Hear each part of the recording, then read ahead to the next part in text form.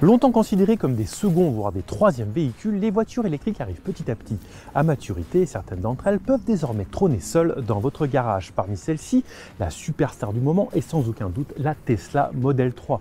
Mais l'américaine a-t-elle les qualités pour aller boxer en dehors de sa catégorie des 100% électriques et venir défier la concurrence en provenance du vieux continent?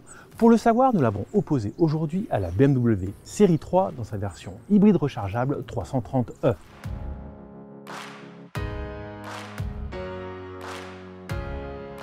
La BMW Série 3, c'est une institution, le fruit de plusieurs décennies d'amélioration de génération en génération pour arriver à ce que vous avez aujourd'hui sous les yeux, la septième du nom, sortie cette année. Outre les versions purement thermiques, elle est aussi proposée en version hybride rechargeable sous le nom de 330e, avec un 2 litres turbo essence épaulé par un moteur électrique. De son côté, la Tesla Model 3 fait encore office d'outsider, que ce soit le modèle arrivé en Europe en début d'année ou la marque qui souffle à peine sa 16e bougie.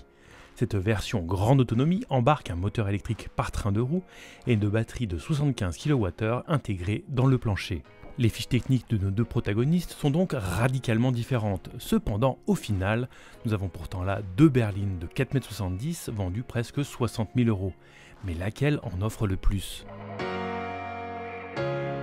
En matière de rapport prix-équipement, la Tesla Model 3 grande autonomie est facturée 59 000 euros contre 59 450 euros pour la BMW 330e en finition Luxury. Les plus attentifs d'entre vous auront cependant remarqué que nous avons choisi une finition édition sport pour illustrer ce sujet. Pour égaler la dotation de série de l'américaine, il faudra cependant ajouter 1250 euros de jantes 18 pouces, 450 euros pour avoir des sièges chauffants à l'arrière, 1450 euros pour le toit en verre ou encore pas moins de 2350 euros d'aide à la conduite pour avoir entre autres le régulateur de vitesse adaptatif, l'alerte angle mort ou le maintien dans la voie.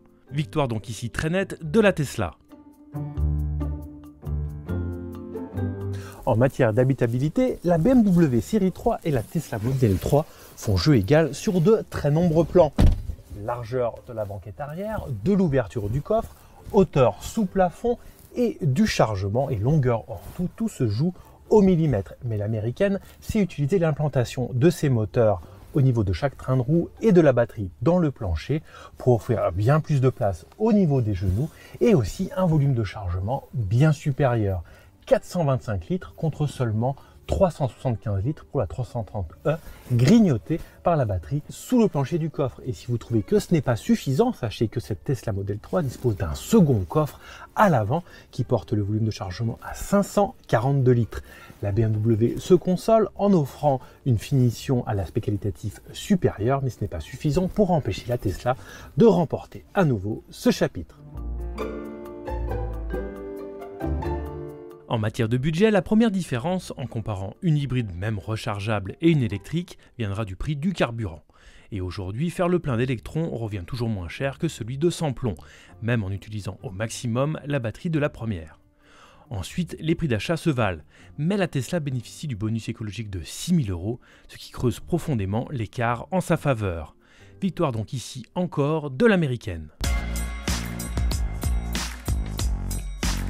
D'accord, il n'y a peut-être pas de 6 cylindres en ligne sous le capot, mais on reconnaît une BMW dès les premiers tours de roue. Il y a d'abord cette position de conduite proche de la perfection, avec ses sièges enveloppants montés au ras du plancher, et puis ce volant à la jante épaisse qui rentre bien dans la main, et puis il y a aussi ce dynamisme si particulier des propulsions qui donnent immanquablement le sourire et qui invitent à une conduite dynamique.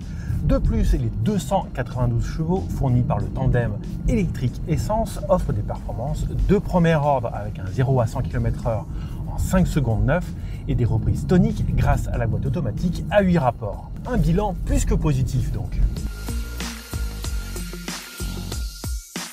Oui, mais la Tesla Model 3, c'est une autre planète. La marque américaine ne communique pas sur sa puissance et son couple, mais les 4 secondes 6 au 0 à 100 km/h et les reprises très violentes laissent penser qu'une cavalerie plus qu'abondante se cache dans les premiers millimètres de la pédale d'accélérateur. La Tesla ne fait donc qu'une bouchée de la série 3 en ligne droite, mais aussi, et ça, ça ne va pas plaire aux fanatiques de la marque à l'hélice, en courbe, grâce à sa transmission intégrale qui garantit une motricité absolument parfaite et à son centre de gravité particulièrement bas grâce à l'implantation des batteries dans le plancher. Alors d'accord, c'est peut-être un outil un peu plus froid, un peu plus chirurgical que la BMW série 3, mais le résultat est là. Niveau confort, l'amortissement est tout ce qu'il y a de plus similaire à bord de protagonistes, et si les bruits d'air se font un peu plus sentir à vitesse autoroutière à bord de la Tesla, c'est peut-être parce qu'ils sont couverts par le ronronnement du moteur thermique dans la BMW.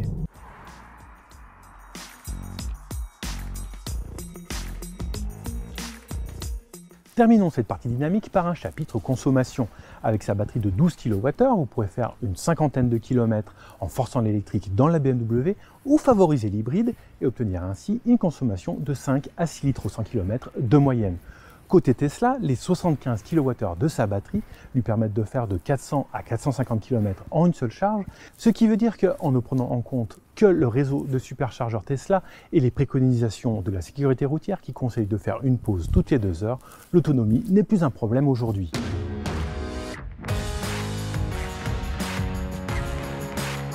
C'est un carton plein pour la Tesla Model 3 grande autonomie face à la BMW 330e, puisqu'elle remporte la totalité des chapitres de notre comparatif conduite, budget, équipement et habitabilité.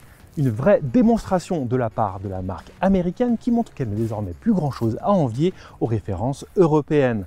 On attend maintenant avec impatience la réplique bavaroise en 100% électrique qui s'annonce saignante.